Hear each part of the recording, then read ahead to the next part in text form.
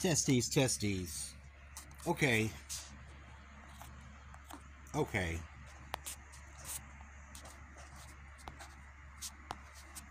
Now, this is Maria Sarin. I don't know how you say her name. Uh, she's on a lot of stuff. She's she's she's interested in a lot of the same things that that I'm interested in, and I, I've seen her in some Dan Winter stuff. So she's into it, but I strongly disagree that she's an Anunnaki. Okay, this is the second interview. This is her. This is what she sounds like. that I don't have anything bad to say about them. So yeah, that said, you know, and the Sirians. Um, Now she looks the part. Hold on, let me let me change what I'm. Let me change my program. Here.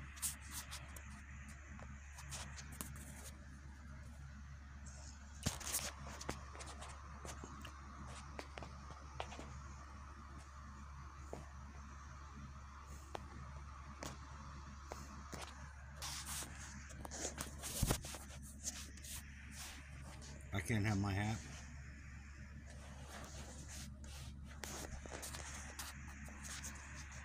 Mm-mm.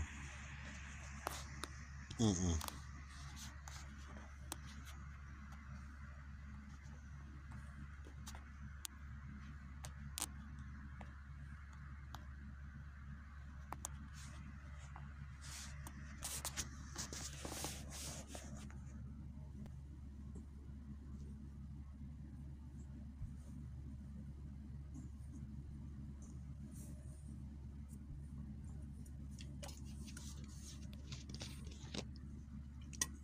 Pardon me. You like this? You know you do. You know you fucking like this. You know you like this. What's not to like? Hey, what's not to like? The horse in the back, you got the thunder.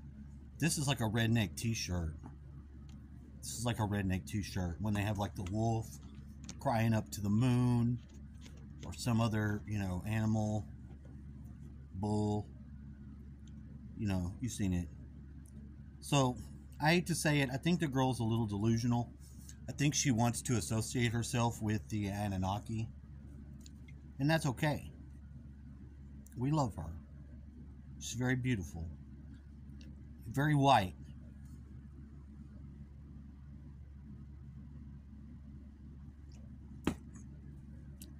I think she needs to get some sunshine. Is it is it wrong to say that?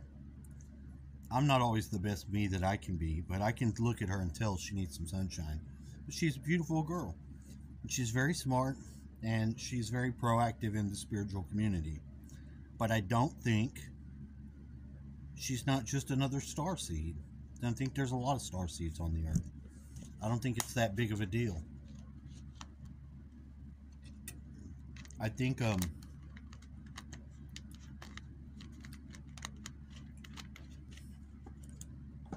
that old lady that's interviewing her um winner of the Peabody Award, whatever her name is. She's an older lady. She did a lot of the cattle mutilation stuff back in the day. Um I can't think of what her name is though. But she's treated people that she thought she was going to get a story from a certain way and then when she found out it wasn't going to pan out the way she wanted to and she couldn't exploit them she really was fucking rude to them and shit like that. And they needed to get their story out but um, she kind of fucked them over so i don't like her. And it's um hold on i'm gonna go and look.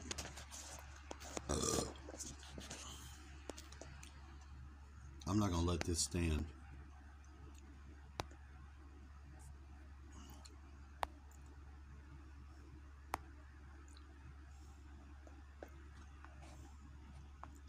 Linda Moulton Howe. That lady. Girl, you sexy little thing. Well, the Sirians, I have not have, like, I didn't really have, like, a lot of experiences with them, to be honest, with her. It's true that I've been, I became aware at 17 that I was part of another um, hybrid program that was not with the Greys, and I think I saw some beings that resembled the Sirians, you know, but I I don't know if they were Sirians or not.